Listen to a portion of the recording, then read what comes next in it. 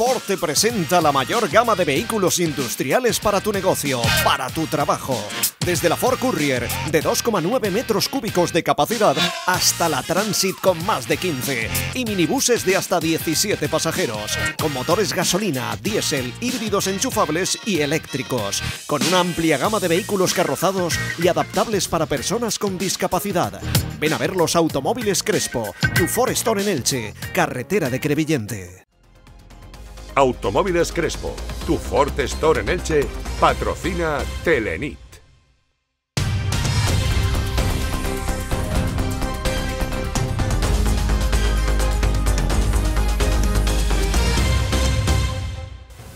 Bienvenidos a Telenit en este viernes de la conmoción inicial a la hora de solidaridad, porque Elche demuestra una vez más que tiene su alma altruista y se vuelca con los afectados por la dana en Valencia.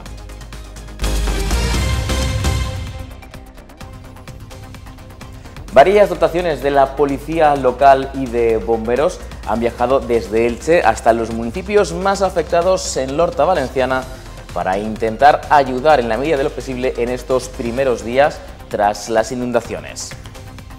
Y mientras los ilicitanos se organizan para llevar alimentos y eh, productos de primera necesidad a aquellos vecinos de Valencia que lo han perdido todo. Se podrá donar hasta el próximo domingo en los centros sociales.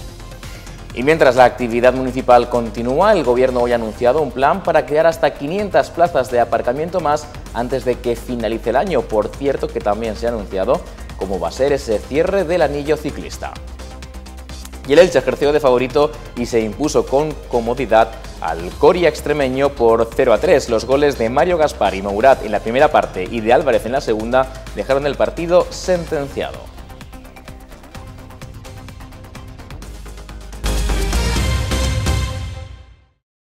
Bueno, empezamos el repaso de la actualidad con la imagen de la policía local de Elche que está ya en Valencia. De esta forma, como ven, salían esta mañana a primera hora hasta seis unidades para colaborar en restablecer la normalidad en los municipios de Horta Valenciana. Así salían de la jefatura hacia Paiporta, formada por dos oficiales y diez agentes, y nada más llegar se pusieron a disposición del puesto de mando del centro de emergencias.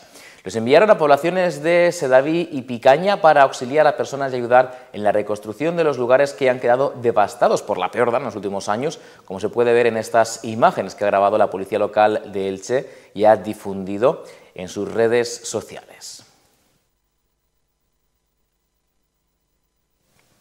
Y desde hoy hasta el sábado, cualquier persona que quiera ayudar a todos los que les ha afectado la dana pueden hacerlo desde Elche. El ayuntamiento ha puesto a disposición cinco puntos que abrirán a partir de las 9 de la mañana de forma ininterrumpida hasta las 9 de la noche durante todo el fin de semana para demostrar que Elche tiene alma altruista. Durante todo el fin de semana Elche podrá enviar ayuda a los afectados por la dana ocurrida en Valencia. Los materiales necesarios serán sacos de dormir, mantas, ropa, productos de higiene personal, comida enlatada y productos como cubos, palas y escobas grandes. La recogida será hasta el sábado en los diversos centros sociales. También desde la Fundación Conciencia T han habilitado un número de Bizum para realizar donaciones 06954. Los productos más necesarios en este momento eh, son productos básicos que podemos imaginarnos en una situación como esta, sacos de dormir, mantas, eh, productos de higiene, eh, alimentación no perecedera, comida enlatada, agua embotellada, zumos, productos en definitiva pues que, son realmente básicos ¿no? sobre la ropa por ejemplo pues eh, hacemos un llamamiento a la ropa interior que sea nueva o a la ropa exterior que esté en muy buen estado es importante que la ayuda llegue a los puntos habilitados para que el envío se haga únicamente a través del ayuntamiento para asegurar que los materiales lleguen a los puntos afectados Hoy, día 31, mañana día 1 y el próximo día 2, desde las 9 de la mañana hasta las 21 horas, de forma ininterrumpida, estará abierto el Centro Social Poeta Miguel Hernández, el Centro Social Polivalente de Carrús, el Centro Social El Raval, el Centro Social Altavix. Para las pedanías se, habilitará el Centro Social de Torrellano y la sede de la Fundación Conciencia T en Alférez Cosidó todo el mundo puede llevar todo el material a, esas, a esos puntos de recogida. El alcalde ha hecho hincapié en que la ayuda debe ser exclusiva de donación de material. Advierte que Valencia no necesita manos voluntarias y nadie debe poner en riesgo su vida desplazándose hasta las zonas afectadas. Eh, el que alguien se plantee fletar un autobús o ir en su coche a ayudar no, no, es un problema añadido y es un error. Básicamente porque desde Elche los accesos a Valencia desde el sur son los más complicados. O sea, agradecimiento absoluto, pero no. Ahora mismo lo único que necesitan, lo principal la principal necesidad es eh, material que vamos a recoger estos días, que va a ser muy bien recibido y muy necesitado. Nadie tiene que ir a Valencia absolutamente para nada. Yo os agradezco también que lo hagáis llegar. Y así nos lo trasladan las autoridades. Para nada. También Caritas ha abierto números de cuentas para recaudar el dinero que ayuda a reconstruir todo lo que la DAN ha destrozado en Valencia y Albacete. Bueno, después de pensar en las víctimas, el siguiente pensamiento que muchos de ustedes habrán tenido es si esto puede ocurrir en nuestra zona. Bueno, lo cierto es que sí. Ayer los hombres del tiempo, como Vicente Bordonado, ya nos avisaban que las danas son ahora cada vez más erráticas y estaba previsto incluso que lloviese con intensidad en Elche. Lo llevábamos avisando durante varios días previos. Pero ya no solamente es una cuestión de que se avise por parte de los meteorólogos y que hagan caso las autoridades que emiten las alertas, también es que las infraestructuras puedan estar preparadas. En ese sentido, desde el Gobierno esperan obtener una inversión reclamada desde hace años para que se construya tanques de tormenta con los que mitigar los desbordamientos, por ejemplo, del barranco de San Antón, que es uno de los más problemáticos aquí en Elche y que atraviesa la carretera de Santa Pola. Claudio Guilaber ha destacado la actuación que iniciaron el pasado mes de agosto para limpiar los barrancos y ramplas del territorio sin ser competencia municipal. Empezamos a finales de, agosto, empezamos con un plan, eh, en este caso de arreglo, de adecuación de todos los barrancos de nuestro municipio. Solicitamos el permiso a la Confederación, porque Confederación no realiza en este caso estas, estas funciones y nosotros, al final, como ayuntamiento y como administración más cercana, para velar por la seguridad, eh, hemos realizado todas estas labores de desbroce de los barrancos que continúan Bueno, más asuntos. Antes de finalizar el año se crearán 500 plazas más de aparcamiento porque cambiarán la fila por batería y se seguirán con los acuerdos con los solares para abrirlos al público como parkings provisionales. Las obras para crear 4 kilómetros de carriles bici en Altavix están muy avanzadas para cerrar el anillo y poder conectar toda la ciudad. Los carriles bici de Altavix estarán segregados, algunos por setos vegetales y además en la zona de la avenida de la Universidad se han trasladado a la vía de servicios de la ciudad deportiva sin eliminar la mediana, como contemplaba el proyecto de PSOE y Compromís. Además, los accesos a las rotondas tendrán dos carriles para el conductor y los ciclistas.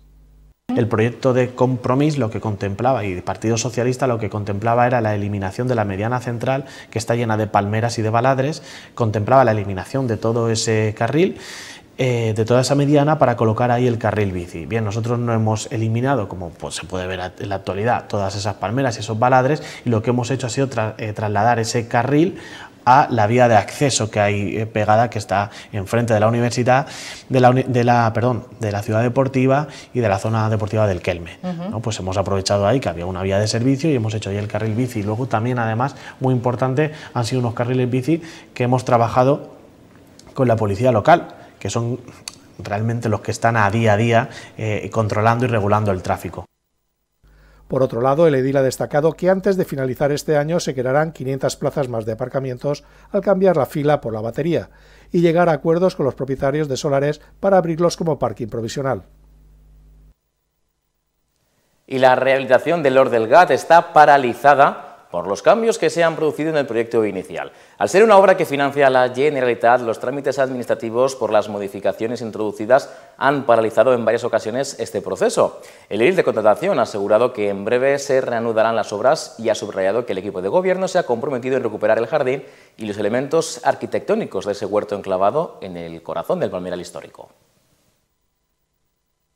En el Or Gata, además, nuestro compromiso es, y lo digo públicamente, vamos a, hacer una actuación muy importante en la zona del jardín. Vamos a recuperar todo el jardín. vamos a recuperar las, en este caso, las charcas que habían. Vamos a intentar recuperar también eh, todo lo que eran las esculturas, ese, centro de filantropía, ¿no? que, era, el Lord del GAT, eh, lo vamos a recuperar todo. Pero claro, eso va parejo a la terminación, la conclusión de, lo, que es lo que va a ser el centro de interpretación del Palmeral. Eh, con la casa que ya van a empezar ahora mismo las, las obras, de, se van a reanudar de nuevo las obras muy pronto. El Ayuntamiento ha adjudicado el contrato para la adecuación de diferentes paradas de autobús en el casco urbano. Se colocarán tres nuevas marquesinas con paneles informativos y también esas plataformas para hacer el acceso al autobús más accesible. También se harán la sonorización de algunas de ellas para, según ha indicado la portavoz del Gobierno, ofrecer una calidad a todas las personas con discapacidad es para la adecuación de diferentes paradas de autobuses en nuestro municipio, más concretamente en el casco urbano, y que son las paradas 165, 267, 121 y 57, y que además afectan a nueve líneas de autobuses y una parada de taxi. Evidentemente, este contrato pues, comprende la adecuación de, estas, eh, de estas cuatro paradas que les acabo de comentar y además de la parada del taxi, pues para que cualquier persona pueda ser usuaria del autobús urbano. La edificación en la zona de Buenavista Sur, concretamente en el Camino Castilla, podrá convertirse en realidad tras unos años, el equipo de gobierno ha iniciado los trámites para que así sea y esté previsto que este espacio albergue un total de más de 500 nuevas viviendas. El sector de Buenavista Sur en Elche experimenta un paso clave en su desarrollo con la emisión del informe ambiental territorial y estratégico necesario para la modificación del plan parcial. Esta reordenación proyecta la construcción de 524 viviendas, la ampliación de zonas verdes y una mejora en los espacios dotacionales en beneficio de los vecinos. Lo importante es que estamos ante el inicio para que este sector de Bonavista Sur pueda ser una realidad en, unos años y que, por tanto, se pueda edificar en esa zona. Además, en esta Junta de Gobierno se han llevado diferentes licencias urbanísticas, varias de ellas importantes por el número de viviendas. En el punto número 14 se trata de la calle... Eh, conceder la licencia de obras para la edificación de 10 viviendas. Se trata de la calle Vicente Velasco Ibáñez, como lo recordarán con el, como el Bar Nobel. Se trata de 10 viviendas y además una piscina cubierta y local en la planta baja. Además, se han aprobado licencias para edificios en otras áreas, incluyendo uno de 37 viviendas en el antiguo Undiscal y otro de 10 en el Toscar y en Vicente Blasco Ibáñez, respondiendo a la creciente demanda habitacional en la ciudad. El juzgado de lo contencioso número uno de Elche ha condenado al ayuntamiento a iniciar y acabar en el plazo de seis meses la aplicación de la carrera profesional a sus empleados tras la denuncia de la Federación Sindical FESE. El edil de Recursos Humanos ha explicado que recurrirán la sentencia ante el TSJ por entender que ya se ha iniciado este proceso para mejorar los salarios y las categorías profesionales de los empleados municipales y que es imposible aplicar esta medida en seis meses porque el proceso requeriría dos años. Hay una cuestión básica en la que no estamos de acuerdo. Es que en seis meses no se puede realizar la carrera profesional.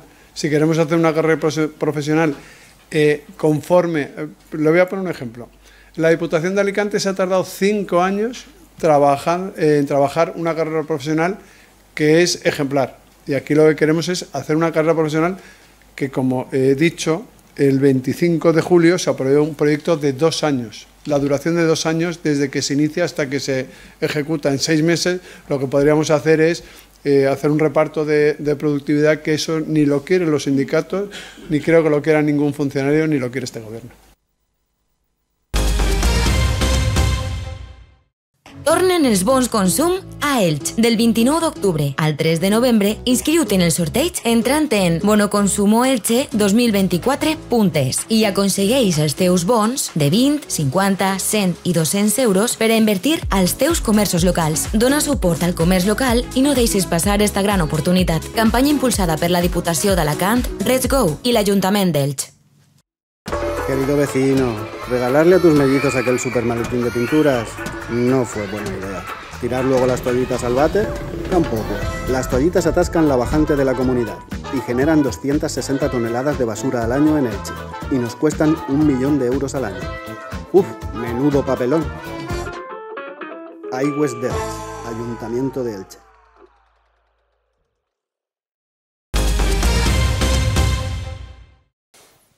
Seguimos en Telenit. Este mes de octubre queríamos cerrar el debate dedicándolo a una de las principales preocupaciones, el problema de la vivienda.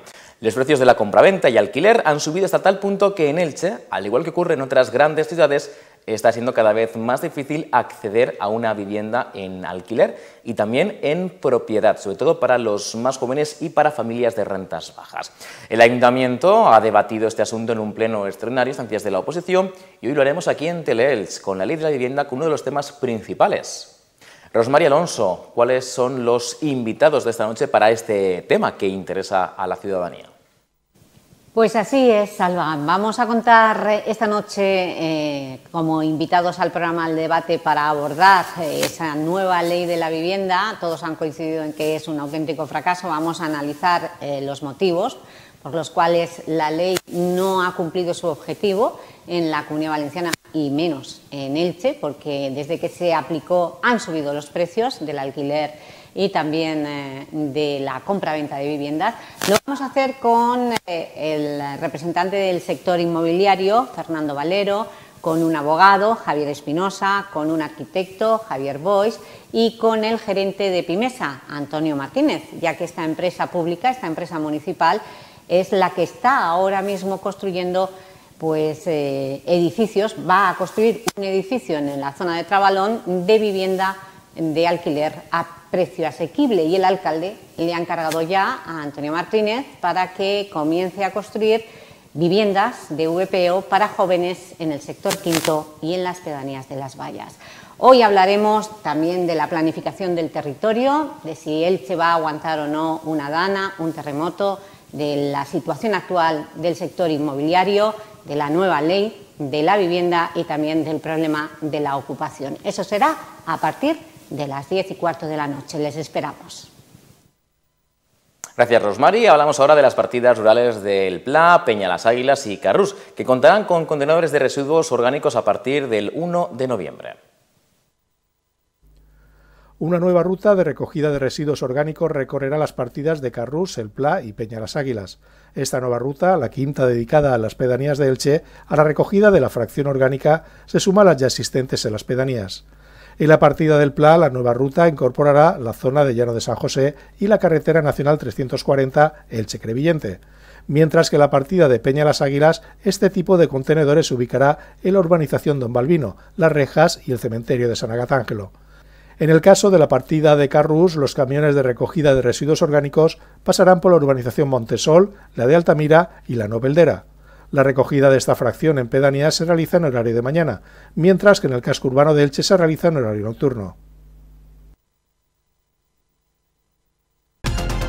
UT Elche y Ayuntamiento de Elche te ofrecen la Agenda Cultural.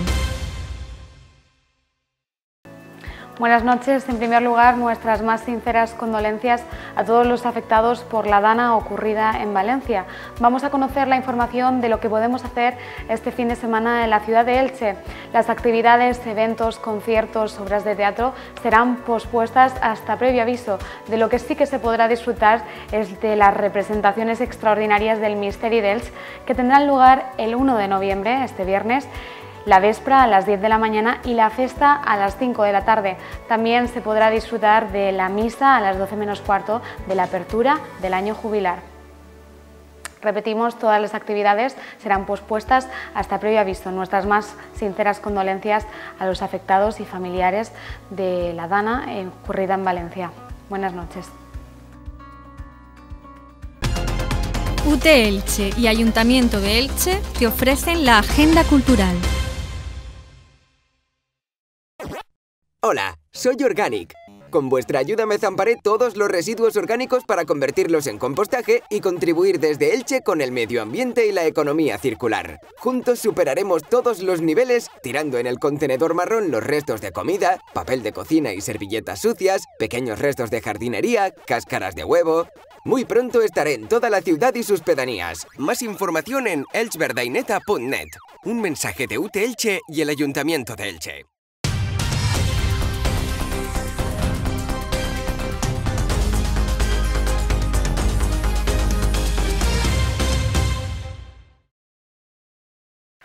Hola, muy buenas noches. El Elche Club de Fútbol ejerció de favorito frente a un segunda ref y venció anoche en la primera eliminatoria de la Copa del Rey por 0 a 3. Los goles en los primeros minutos de Mario Gaspar y Mouraz encarrilaron el partido. En la recta final llegaría el tercero de Agustín Álvarez. El Elche pide otra ronda al vencer 0-3 en la primera eliminatoria de la Copa del Rey. Victoria plácida del conjunto Acoria, equipo de la segunda ref. Los de Eder Sarabia encarrilaron el partido en la primera parte gracias a los goles de Mario Gaspar y Mourad, mientras que Agustín Álvarez puso la guinda en la recta final. Corría el minuto 15 cuando esta asistencia de Raúl Guti es cabeceada por Mario Gaspar con la colaboración del portero. 11 minutos después, jugada similar. Ali, el debutante, ponía este centro sobre la cabeza de Mourad para firmar el 0-2 en el 25 de la primera parte y encarrilar la eliminatoria. Sarabia hizo debutar a Ali que tuvo esta ocasión para marcar el 0-3 y a Albert, otro de los canteranos que hizo un buen partido. El equipo titular estuvo plagado por futbolistas no habituales en el once titular y por hasta cuatro canteranos. Soricaba lo intentó de todas maneras, pero no encontró portería. El técnico dejó en tierra. Ni siquiera viajaron Dituro, Afengruber, Salinas, Pedro Vigas, Alice Febas, Nico Fernández y Rasani. Todos ellos apuntan al equipo titular que se enfrente este sábado a partir de las 2 en Ipurúa a Leibar. En los últimos minutos del partido, el Elche tuvo oportunidades eh, para haber aumentado el marcador. Esta dejada de Sori es aprovechada en el remate de nuevo por Ali. A punto estuvo de firmar el 0 a 3, pero el guardameta del conjunto extremeño estuvo muy acertado. En este robo de balón, finalmente Agustín Álvarez firma el 0-3. Bueno, a ver, nosotros somos profesionales, somos responsables, representamos a un club importante y tenemos que cumplir, tenemos que competir y tenemos que intentar dar nuestra mejor versión en cualquier competición y en cualquier circunstancia. Y para nosotros hoy era el inicio de una nueva competición donde tenemos ilusión, donde queremos hacerlo bien, donde queremos llegar lo más lejos. Y, bueno, creo que lo hemos entendido así. Eh, venimos con el grupo haciendo las cosas muy bien, todos metidos, todos preparados y bueno, por eso creo que hemos hecho tan buena primera parte y por eso creo que hemos sido tan solventes y, estoy muy contento pues por, por todos, por, por, la gente que juega un poco menos y porque sobre todo hemos, hemos dado un muy buen nivel. Uno de los debutantes en la noche de ayer, con tan solo 16 años, Ali Juari se mostraba tremendamente orgulloso y contento por haber conseguido cumplir un sueño de pequeño. Pues muy contento, la verdad. Eh, es un sueño que tengo desde pequeño, que estoy en el club, que ya son casi 13 años ya en el club. Y por supuesto que estoy muy feliz y, hay que siga así, claro. Nada, nada, muy cómodo, todos los compañeros ayudando siempre. Un orgullo y a seguir siempre. Sí, sí, eh, por el próximo partido, por la victoria y por los tres puntos que este equipo quiere mucho más. La expedición franjiverde regresó esta tarde y entrenó para preparar el choque del próximo sábado frente a Leibar a las 2 de la tarde en Ipurúa. La Copa del Rey se aparca hasta el 4 o 5 de diciembre donde el Elche jugará en segunda eliminatoria. Pues próxima parada Ipurúa, partido importante frente a Leibar, nueva jornada de liga. De hecho, ayer el técnico dejó sin viajar a buena parte de los titulares de los que más minutos han jugado, empezando por el portero y terminando por los centrocampistas, Gruber, Salinas, Pedro Vigas, Alice Febas, Nico Fernández, ninguno de ellos viajaron precisamente para reservarlos para este importante partido frente a Leibar que se disputa este sábado a las 2 de la tarde. Menos de tres días han tenido para descansar los franjiverdes que llegaron esta tarde y que se marchan mañana a tierras vascas. El partido será el sábado a las 2, desde la una y media, retransmisión en una nueva edición de Marcador en esta casa. Vamos a hablar también de lo que nos depara el fin de semana, vamos a repasar la agenda, donde destaca el partido que el Attic Go va a jugar en tierras gallegas. En la agenda deportiva del fin de semana muchas competiciones paran por las consecuencias de la Dana.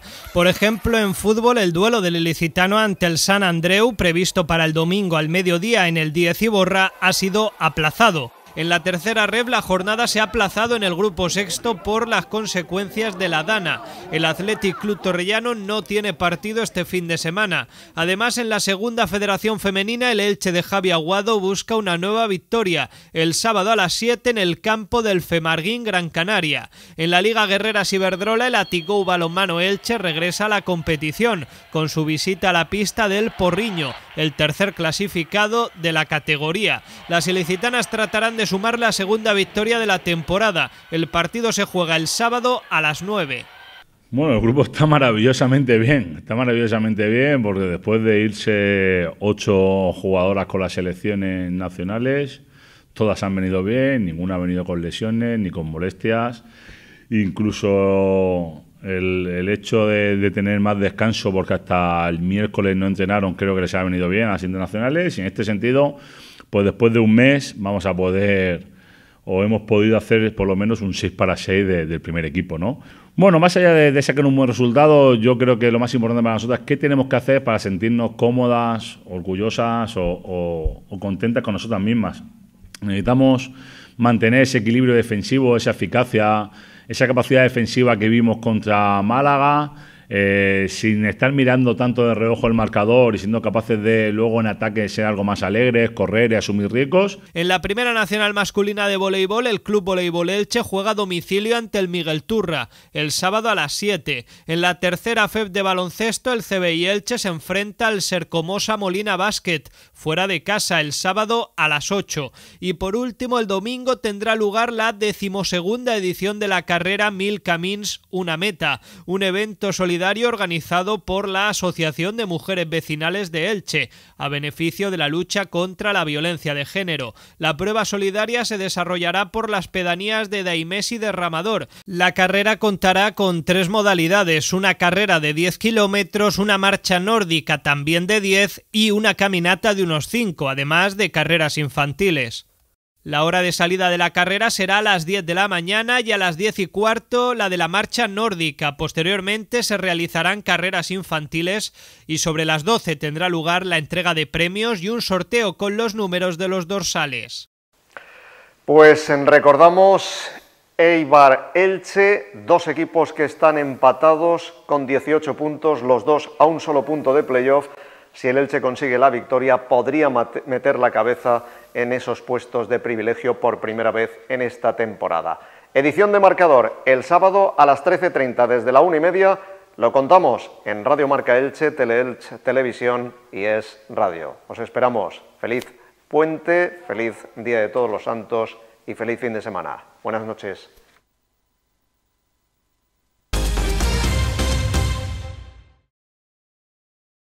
Hasta aquí el informativo, pero no las noticias. Recuerden que este 1 de noviembre Teleelch retransmitirá el Misteri en directo desde las 10 de la mañana a la véspera y a las 5 la festa. La información volverá aquí a Teleelch el próximo lunes a las 9 de la mañana y en Telenit a la misma hora de siempre.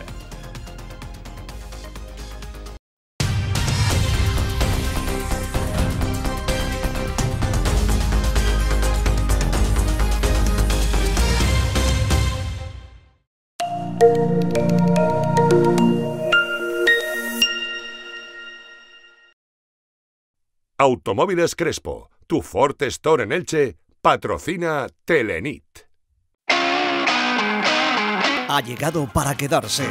Ford Bronco, el todoterreno 4x4 definitivo para los amantes de la aventura, con un diseño emblemático y conectividad de última generación. Ford Bronco, el todoterreno americano por excelencia.